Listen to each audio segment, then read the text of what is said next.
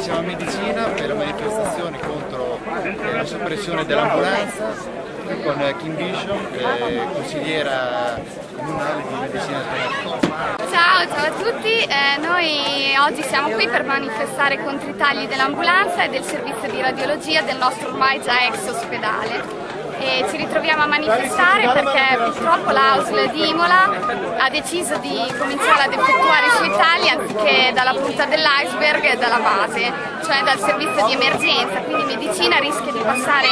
il, tutto il territorio del circondario molese da tre ambulanze notturne a due e si è visto già l'altra sera, mercoledì sera, proprio la sera prima del Consiglio Comunale, un incidente in A14 che ha tenuto impegnate tutte e tre le ambulanze con chiamata dell'ambulanza da Budrio, quindi già il sistema vacilla adesso, immaginiamoci dopo con due sole ambulanze e la copertura del servizio dei volontari che è essenziale ma deve essere integrativo e non sostitutivo, in quanto il personale dei volontari non è addestrato e formato come quello del 118 che hanno infermieri in grado di applicare già le prime cure, le prime terapie nel caso di situazioni già di codice rosso quando l'ambulanza viene chiamata.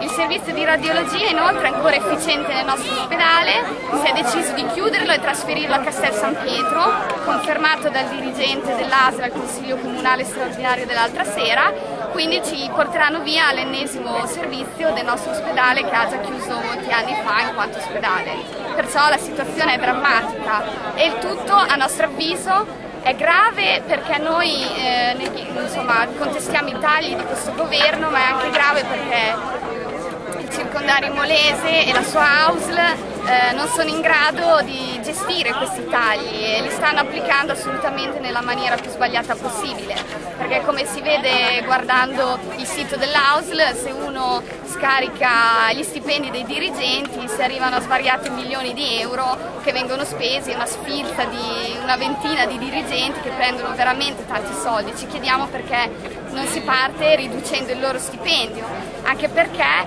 come è stato detto dal dottor Pezzi, consigliere del PDL, eh, basterebbe tagliare un dirigente e tutta questa situazione si potrebbe tranquillamente chiudere con il mantenimento del nostro mezzo di emergenza.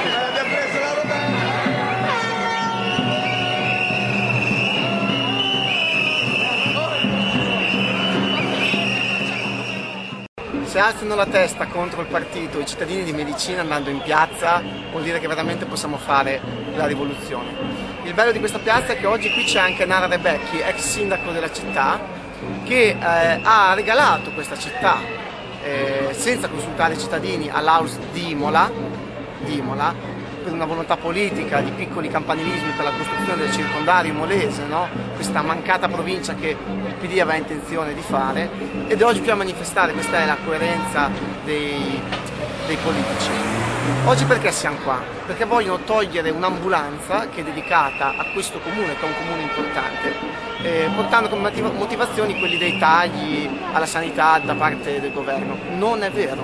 la sanità in Emilia Romagna ha 500 milioni di euro d'avanzo d'amministrazione, in rapporto costi-benefici, quello che dà un'ambulanza in un comune come questo alla comunità e ciò che costa è sicuramente vantaggioso per il cittadino. Sono altri gli sprechi nella sanità e nei costi della politica che potremmo togliere. Non certo togliere a questi cittadini un'ambulanza senza neanche consultarli, però si sa, gli amministratori locali sono eh, decisi dai segretari di fatto e, e devono tenersi stretta la poltrona. Fanno bene i cittadini a ribellarsi.